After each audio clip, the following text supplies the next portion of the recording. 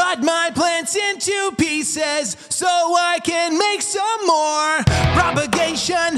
No seedlings,